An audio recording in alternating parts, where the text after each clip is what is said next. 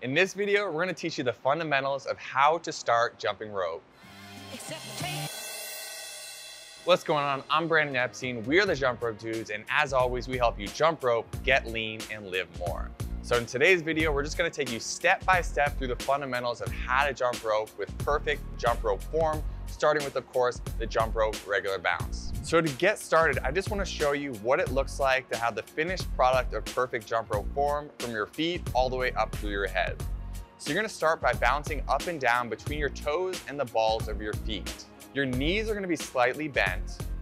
Your wrists will be spinning the rope and parallel to the ground. Your hands are gonna be facing forward at or below your waist. Your hands are jutting out to the side with elbows close to your body. Create symmetry between the right and left side of your body. If you can cut yourself down the middle, you should look the same on both sides. Your shoulder blades should be down and back and together. You should maintain an upright posture, reaching your head towards the sky.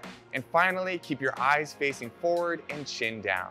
Okay, so now we're gonna break this down one chunk at a time. Step one is just starting to find your rhythm without your jump rope. So we like to do this by just counting one, two, three, four. One, two, three, four. One, two, three, four.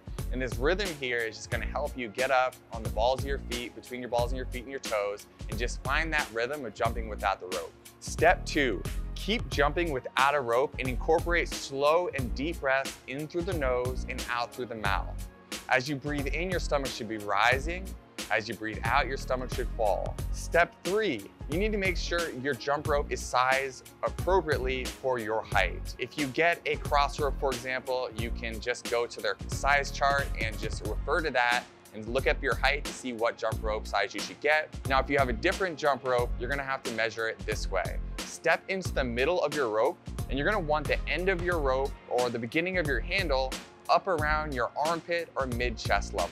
Once your rope is sized appropriately, we can move on to step four. So start with the jump rope regular bounce. So again, you're gonna be bouncing up and down between your toes and the balls of your feet. Again, keeping those knees slightly bent. Your wrists are gonna be spinning the rope and parallel to the ground. Your hands are facing forward at or below your waist or hip level.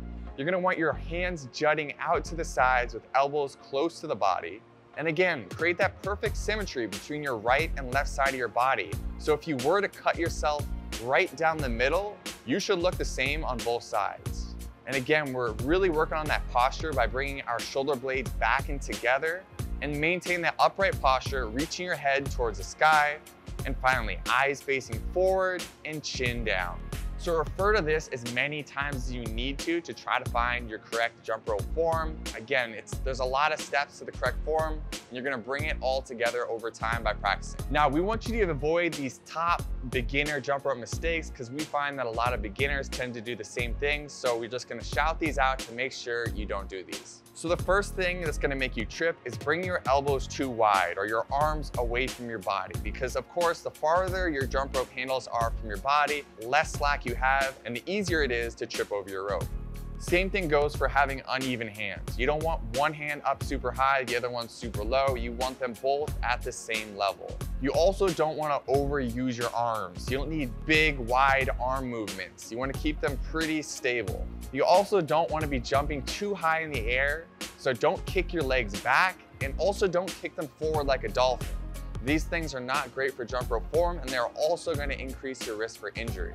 Another common thing we see is people doing the double jump. The reason we don't want you to do this double jump like you can see pictured here is because it won't allow you to get intense with your workouts. As long as you're doing the double jump, you're gonna be jumping rope super slow and you won't be able to bring the appropriate intensity to your workout to get the results you want. Finally, don't get frustrated. Understand that jumping rope is a skill, and like any skill, you're gonna need to practice to get better at this skill. So have fun with it, incorporate your favorite music, and just understand that this is a process. The more you practice, the better you're gonna get. Step six, we recommend starting with a slightly weighted rope.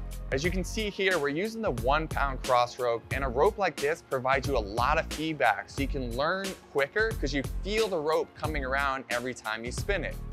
So if you want to check this out, feel free to go to crossrope.com forward slash JRD and you can get this jump rope or any of the ones we're using in this video for 10% off with the code DO THE THING.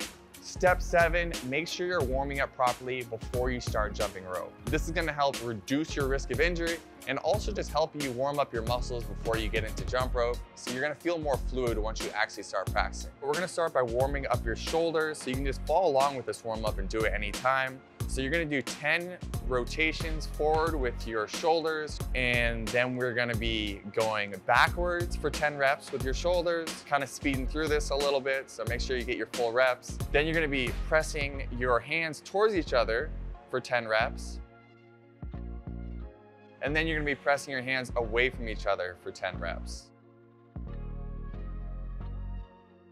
And then we're gonna go into a little wrist and warm up routine where you're just gonna be aligning your shoulders over your wrists and you're gonna be leaning forward and back, forward and back. So you can get 10 reps forward and back total. And then you can face your hands, your fingers towards your body, and you're gonna sit back on your heels. You can just kind of sit here for around 30 seconds or so, and that's gonna help uh, open up your forearms, and stretch them out a little bit before you get started. Next up, you're just gonna sit back on your toes here. So you're gonna sit on your heels and have your toes flexed on the ground. It's gonna help stretch out your feet before you get started.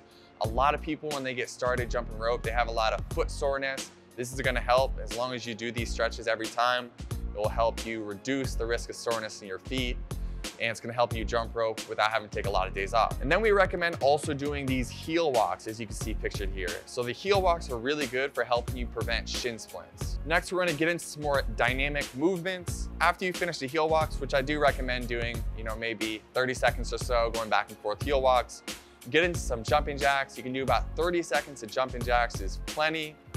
And then get into some air squats. So air squats here, as you can see, you want your knees jutting out to the side. Keep that chest up. And you can get around 15, 20 reps of air squats. Around 30 seconds of air squats is fine. And then finally, before we actually pick up our jump rope, you can do basically the boxer skip without a jump rope, which is just finding your rhythm, kind of hopping back and forth and the ball is your feet, putting weight on one foot and then the other, back and forth. You can do this for 30 seconds to a minute so you can find that rhythm before you actually get into your jump rope routine. So this is day number one of the Jump Rope Dudes 7-Day Beginner Jump Rope Challenge. If you want to get the rest of the challenge, you can go over to jumpropedudes.tv and sign up for Jump Rope Dudes TV, and you'll get access to this. It's available on your TV, your iPhone, your Android, your tablet, basically on most devices, you'll be able to watch this and follow along with us and do the rest of the challenge. So Thank you so much for watching. We're the Jump Rope Dudes. I'm Brandon Epstein. As always, do the thing. Subscribe to the channel if you haven't already. And if you have additional questions or comments, drop them below.